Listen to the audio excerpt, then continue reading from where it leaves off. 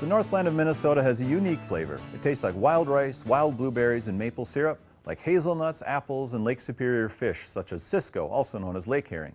These foods are the backbone of our increasingly important sustainable food economy. Adding more locally produced foods like these to your diet helps the regional economy, and it also puts less pressure on the environment.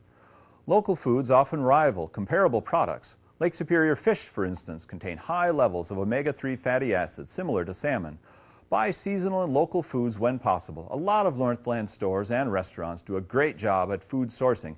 Ask them about sustainable options. If you are interested in local foods, who grows them, and where to find them, look up the University of Minnesota Extension's local foods website at localfoods.umn.edu. If you want to know more about Lake Superior Fish or learn about the Lake Superior Fish Classic Professional Chef Competition on October 4th, visit www.seagrant.umn.edu.